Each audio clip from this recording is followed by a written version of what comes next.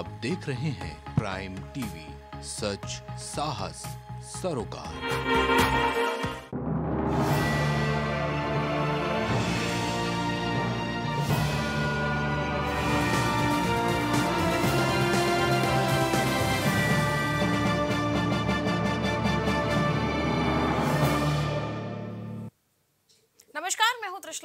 आप देख रहे हैं प्राइम टीवी। आइए रुक करते हैं इस वक्त की कुछ खास खबरों की ओर। वाराणसी के हरहुआ पीएचसी सेंटर में औचक निरीक्षण करने डिप्टी सीएम ब्रजेश पाठक पहुँचे। औचक निरीक्षण के दौरान डिप्टी सीएम ब्रजेश पाठक ने प्रभारी चिकित्सा अधिकारी को जमकर फटकार लगाई। बता दें कि निरीक्षण के दौरान डिप्टी सीएम के प्रभारी चिकित्सा अधिकारी सवालों का जवाब नहीं दे पाए। आप तस्वीरें देख सकते हैं कि किस तरह से एक्शन मोड में डिप्टी सीएम खुद गाड़ी चला करके पहुँचे और उन्होंने वहाँ पर जाकर डॉक्टरों से भी सवाल किया। उन्होंने औचक निरीक्षण किया जायजा लिया पीएचसी सेंटर का और जो भी कमियाँ थी उसको लेकर डॉक्टरों को फटकार भी लगाई है। मथुरा के उप मुख्यमंत्री केशव प्रसाद मौर्य ने पीडब्ल्यूडी गेस्ट हाउस में जनता दरबार लगाया, जहाँ डिप्टी सीएम केशव प्रसाद मौर्य के साथ जिलाधिकारी नवनीत सिंह चहल और एसएसपी डॉक्टर गौरव ग्रोवर भी जनसुनवाई के लिए मीटिंग हॉल में मौजूद थे। इस मौके पर भारी संख्या में फरियादी अपनी फरियाद लेकर पीडब्ल्यूडी गेस्ट हाउस पहुँचे। यूपी में बहुजन समाज पार्टी प्रमुख मायावती ने प्रधानमंत्री बनने की इच्छा ज़ाहिर करने के बाद राजनीतिक चर्चा तेज हो गई है। वहीं बीजेपी सांसद साक्षी महाराज ने बसपा प्रमुख मायावती पर बोलते हुए कहा कि अगर मायावती ज़िंदा है तो बीजेपी के कारण नहीं तो समाजवादी पार्टी कब की उनको मार डाली थी? वहीं उन्होंने शिवपाल और अखिलेश यादव पर भी बोलते हुए कहा कि यह उनका पारिवारिक मामला है। तो यह है कि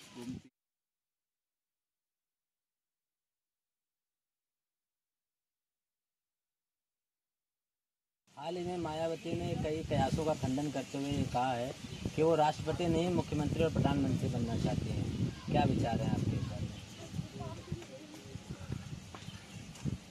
समझदार हैं। हम लोग तो इतनार्य पूजनते रमनते तद देवता नारी शक्ति का बहुत सम्मान करते हैं और सम्मान करते भी रहे हैं।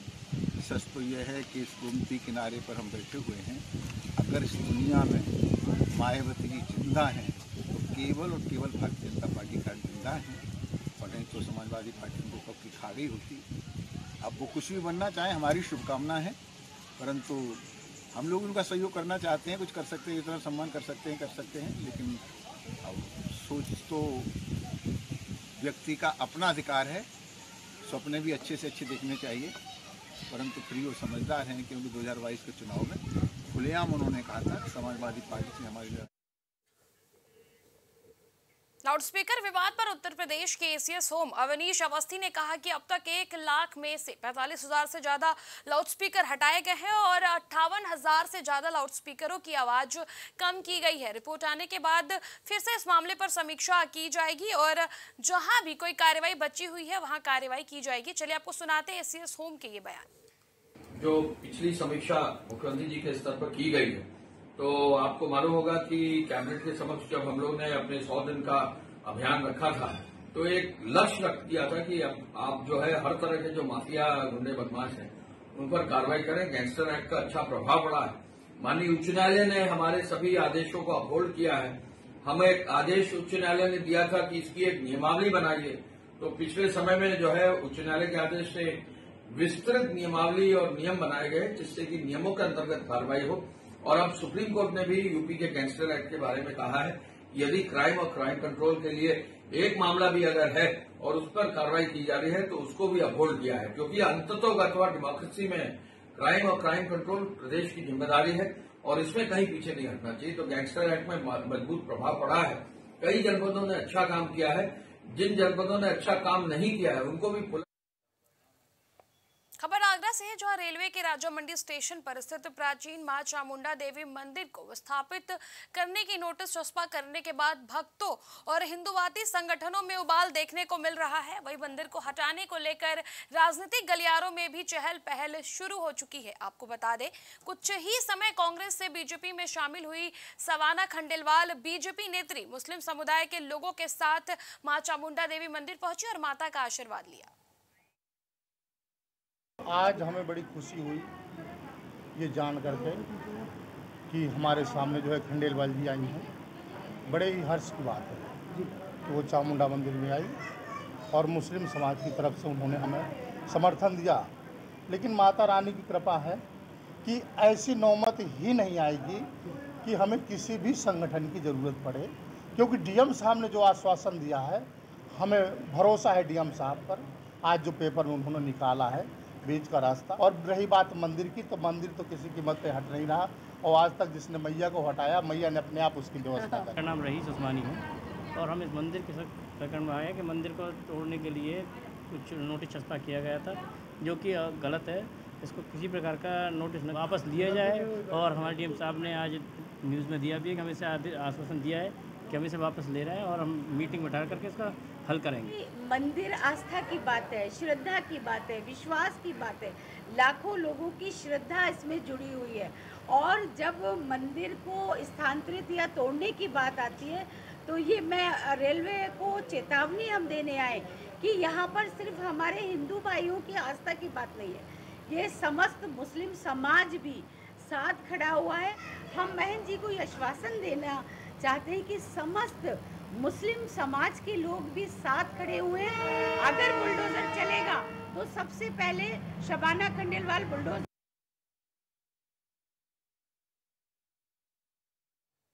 आगरा में राजा मंडी स्टेशन से चामुंडा देवी का मंदिर शिफ्ट करने के मामले ने तूल पकड़ लिया है।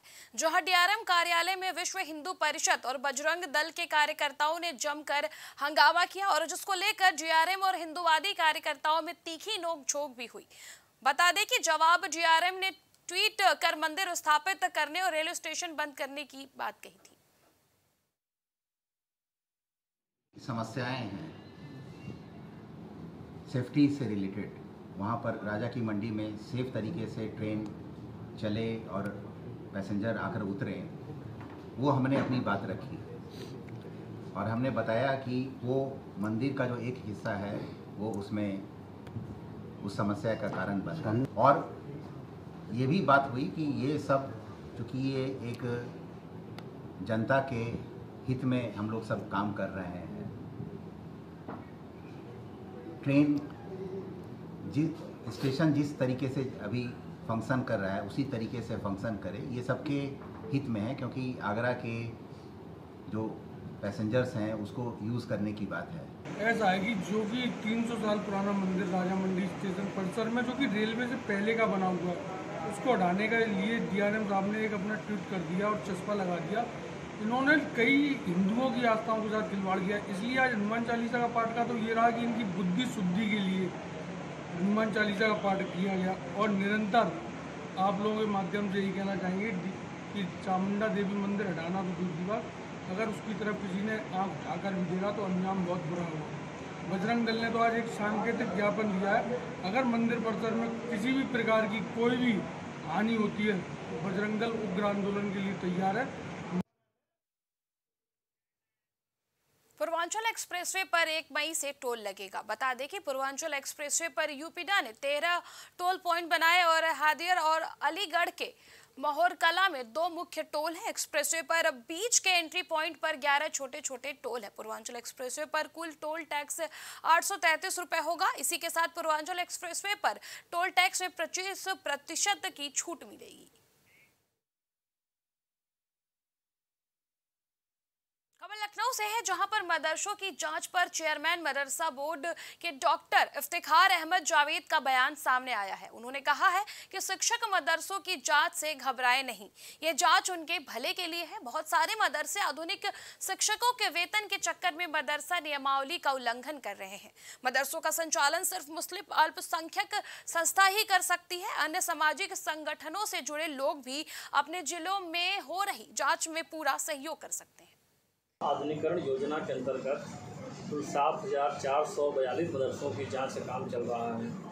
जिलाधिकारी के ज़रिए ये जाँच हो रही है। मैं मदरसे से जुड़े हुए सभी प्रबंधकों, शिक्षकों और आधुनिक शिक्षकों से अपील करता हूँ, साथ ही सामाजिक संगठन के लोगों से अपील करता हूँ, जाँच में सहयोग करें।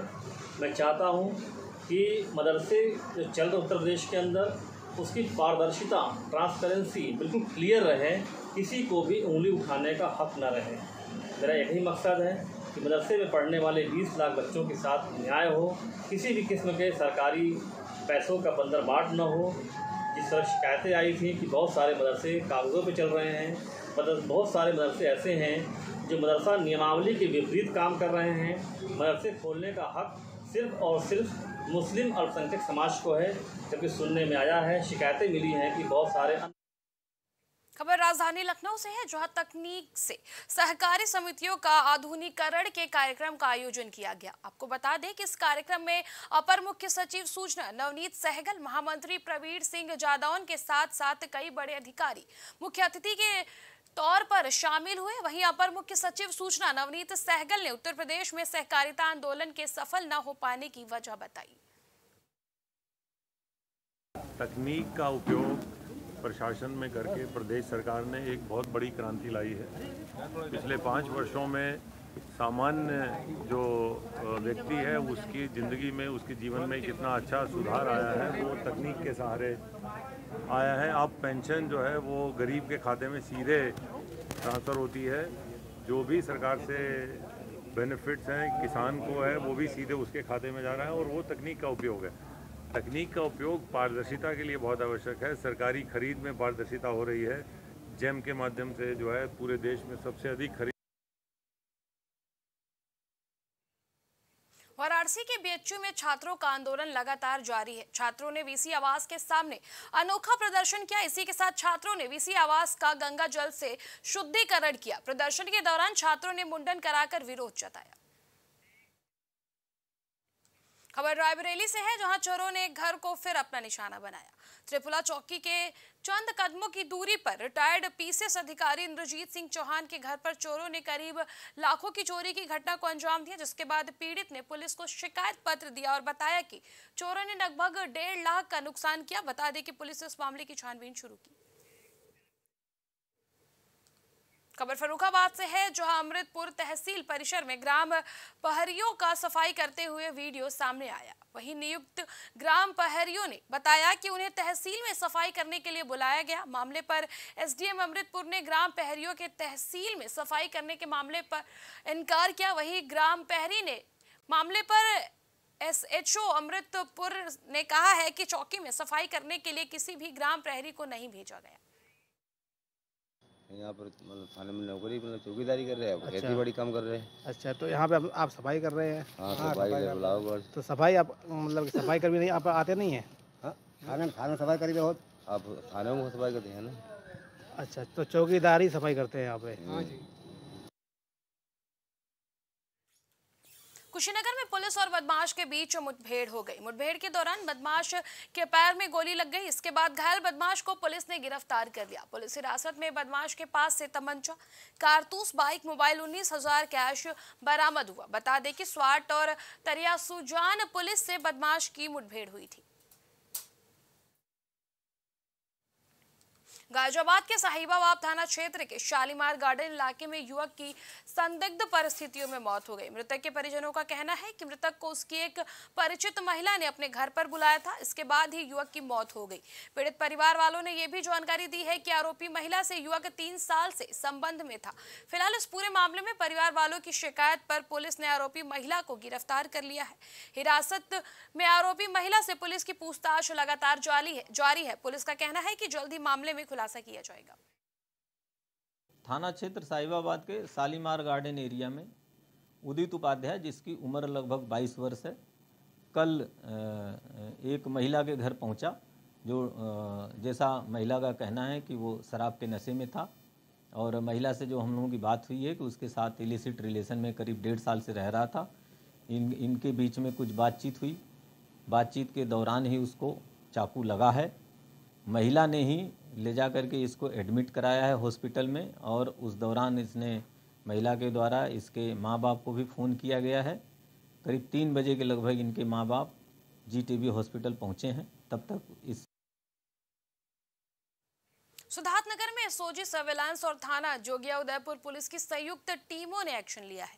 संयुक्त टीमों ने पाँच अंतर्राज्यीय वाहन चोरों को पकड़ने में सफलता हासिल की है। पकड़े गए शातिरों के पास से कार, तीन बाइक और सात मोबाइल फ़ोन के साथ कारतूस तमंचा बरामद किया गया है। बता दें कि गिरफ़्तार हुए शातिरों में से दो बिहार और तीन यूपी के रहने वाले हैं। एक एक अंतर्राज्यीय गैंग का पर्दाफाश किया है पुलिस ने, जिसमें जोगिया की पुलिस ने आज भोर में चेकिंग करते हुए सड़क पर चेकिंग कर रहे थे संदिग्ध स्कॉर्पियो गाड़ी में कुछ संदिग्ध लोगों को गाड़ी को रोक कर जब उसके दस्तावेजों की डिमांड की गई तो वो लोग नहीं दिखा पाए। जब पूछताछ की गई तो उनमें से दो लोग बिहार के रहने वाले थे, शिवान और गोपालगंज के। तीन लोग कौसाम्बी के रहने वाले थे। जनपद से बाहर के होने की वजह से और रात का टाइम होने की वजह से इसमें आगे किया गया तो उनके पास से तीन गाड़ियाँ और दो गाड़ियाँ बोलेरो जो हमारे जनपद से सिद्धार्थनगर से पूर्व में चोरी हो रखी थी, वो उन्होंने बरामद कराई है और तीन मोटरसाइकिलें लोगों ने बरामद कराई है। इनका आपराधिक इतिहास है, बलिया में, प्रयागराज में भी वाहन चोरी की घटना को अंजाम दिया इसके अलावा बिहार खबर संभल से है जहाँ मुरादाबाद जेल में बंद एक युवक की मौत हो गई, जिसके बाद जेल में हड़कम मच गया। मौत की खबर सुनते ही परिजनों में कोहराम मच गया, जिसके बाद परिजनों ने चंदौसी कोतवाली पहुंचकर जमकर हंगामा किया। इस मौके पर भारी संख्या में पुलिस बल तैनात रही। पर कोतवाली पुलिस आई थी कोतवाली से। उन्होंने ये कहा था कि ओरीलाल जो है वो एक्सपायर हो गया। और मुझसे ये कहा था कि जाके डेड बॉडी ले आओ। मैं फिर मैंने उनसे पूछा मैंने पोस्टमार्टम होगा? बोले हाँ। फिर दोबारा के यहाँ पे ये सब लोग इकट्ठे हो गए बोले जेल में ऐसे कैसे हो गया? तो उन्होंने वहाँ से वापसी आ गई। क्या पता किसी ने भेजे थे या कैसे दोबारा के फिर वो वापसी आ वो कहते हैं गंभीर हालत है। दोबारा क्या कह रहे हैं गंभीर हालत अभी एक्सपायर हुआ है। बस ये वजह है। जेवर थे हमारे। क्या नाम है? हाँ फिर क्या हुआ? वो यहाँ से जाकर इनके घर में घुस कर कुंडी लगा के सो गए। इन लोगों ने मीडिया बुला ली। मीडिया बुला के इन्होंने फिर क्या नाम है पुलिस बुला ली। एफ़ आई आर कर दी। यहाँ से मारते हुए ले गए। पुलिस वालों ने हिरासत में ले लिया। उन्होंने मारने नहीं दिया इन्होंने इन लोगों ने बहुत मारा। वहाँ पे कचहरी थाने में बंद करा दिए। कल मिलाई करके आई है उनकी जिला कारागार मुरादाबाद में उनतीस तारीख की शाम के करीब इस युवक की किसी बीमारी के कारण मृत्यु हो गई। परिजनों की प्रार्थना पत्र पर रात में ही इसका पोस्टमार्टम कराया गया। पोस्टमार्टम में मृत्यु का कारण स्पष्ट नहीं हुआ है। वह बिसरा प्रिजर्व किया गया है। इस पूरे मामले की नियमानुसार जुडिशियल मजिस्ट्रेट खबर औरैया के सदर कोतवाली क्षेत्र से है, जहाँ एक युवक की संदिग्ध हालत में मौत का मामला सामने आया है। आपको बता दें कि युवक शाम को अपने ट्यूबवेल की रखवाली के लिए गया था और सुबह तक घर वापस नहीं लौटा, जिसके बाद युवक का शव पेड़ पर लटका मिला। सूचना मिलने पर कोतवाली पुलिस तत्काल घटनास्थल पर पहुँची और शव को कब्जे में लेकर पोस्टमार्टम के लिए भेज दिया। पुलिस का कहना है कि अब तक ये आत्महत्या का मामला नज़र आ रहा है, लेकिन आगे की कार्यवाही अभी जारी है। वहीं परिवार वालों ने भी निष्पक्ष जाँच की मांग की है। मुझे तो शंका है। हत्या की है किसी ने क्योंकि उसका कोई भी विवाद कोई भी घर में कुछ मुझे समझ में नहीं आया। कभी ये समस्या समझ में नहीं आई कि उसको कुछ विवाद भी है मन विच्छेद भी है। बिल्कुल हंसता खेलता हुआ मेरे पास सारी उसकी सुबह शाम की भी रिकॉर्डिंगें हैं। ऐसा कभी लगा ही नहीं। अभी जो है सब सफ़ा में किया है मैंने। पोस्टमार्टम के बाद फिर मैं देखता हूँ क्या बैठ के पिताजी से डिस्कस करके देता हूँ। ये कितने समय की घटना है? ये तो मैं शाम को नौ बजे ये आया यहाँ बेल टू प्लेट में। सुबह मुझे सूचना मिली। मैं सो की जगह छोटा वाला भाई ने बताया। मृतक का नाम क्या है? रत्नेश कुमार राजकुमार। मामला तो खेत प्लेटा था मामला हम क्या बता दें किसने क्या कुछ किया है? क्या हुआ? हमें निष्पक्ष जाँच चाहिए। क्या आपको किसी पर शक है क्या? जी। सुबह सूचना मिली है कि कोतवाली थाना अंतर्गत ग्राम द्वारिकापुर में रत्नेश पुत्र हरिराम जो प्रजापति हैं और इनकी डेड बॉडी एक आम के पेड़ से लटकती हुई मिली है। प्रथम दृष्टया आत्महत्या का मामला बता रहे हैं, लेकिन पूरे मामले की छानबीन की जा रही है और डेड बॉडी को पोस्टमार्टम में पंचायतनामा के उपरांत भेज दिया गया है। जो भी तथ्य सामने आएँगे, उसके अकॉर्डिंगली विधिक परिजनों का क्या आरोप है और क्या तहरीर दी गई परिजनों ने ये कहा है कि जाँच कर सर आवश्यक कार्रवाई करें और ऐसे हमारा बेटा सुबह मोबाइल लेकर के ट्यूबवेल पर गया खबर अमेठी से है, जहाँ बदहाल विद्युत व्यवस्था से बेहाल लोगों ने जोरदार प्रदर्शन किया और सैकड़ों महिलाओं ने अधीक्षण अभियंता कार्यालय का घेराव किया और विद्युत सप्लाई बंद होने के बाद विद्युत विभाग पर तीन घंटे की अघोषित कटौती का गंभीर आरोप लगाया और कहा कि अगर विद्युत व्यवस्था को ठीक नहीं कराया गया तो बड़ा आंदोलन किया जाएगा। हमारा नाम है रीता सिंह। इस समय बिजली की व्यवस्था की गड़बड़ चल रही है। और अमेठी जनपद में एक एग्रीकल्चर का फीडर के नाम से तीन घंटे की रोज कटौती हो रही थी। उसके लिए हम लोग यहाँ आए हुए थे और जिसमें एसडीओ साहब, अधीक्षण अभियंता और ये सब सब लोग आए उस पर ये लोग निर्णय लिए हैं कि जो एग्रीकल्चर के नाम से तीन घंटे की लाइट करती थी, वो ऐसी अब कटौती नहीं होगी। बाकी जो इनका रोस्टिंग का समय है, वो सरकार से ही गड़बड़ चल रहा है क्योंकि सरकार का इलेक्शन हो गया, जनता मरे चाहे जिए, उनको श्रावस्ती में तीन महीने से आशाओं को वेतन नहीं मिला है, जिसको लेकर आशा कार्यकर्ताओं ने सीएचसी अधीक्षक और विधायक को शिकायती पत्र देकर वेतन दिलाने की मांग की है। जिलाध्यक्ष उमा मिश्रा की अगुवाई में आशाओं ने सीएचसी अधीक्षक और विधायक श्रावस्ती को प्रार्थना पत्र देकर वेतन दिलाने की मांग की है। आशाओं ने बताया कि वेतन न मिलने से हमारा परिवार भुखमरी के कगार पर आ गया है। वही आशा संगिनी, जिलाध्यक्ष उमा मिश्रा का कहना है कि सरकार की तरफ़ से भुगतान कर दिया जाता है, लेकिन ज़िले में आशाओं को भुगतान नहीं किया जाता है।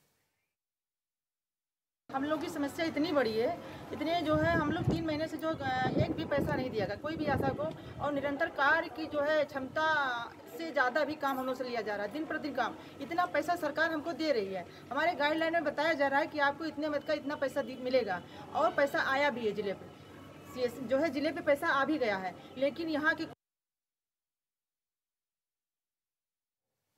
बुलंदशहर में तमंचे पर डिस्को का एक वीडियो सोशल मीडिया पर काफ़ी तेज़ी से वायरल हो रहा है। इस वायरल वीडियो में युवक के हाथों में तमंचा लहराते हुए जमकर डांस किया। ये वायरल वीडियो रामघाट थाना क्षेत्र का बताया जा रहा है।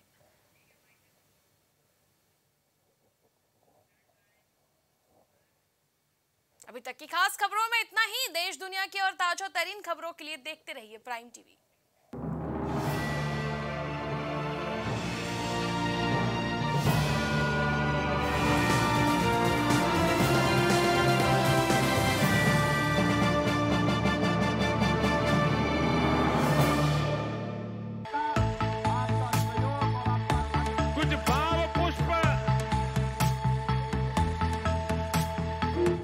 देख रहे हैं प्राइम टीवी सच साहस सरोकार।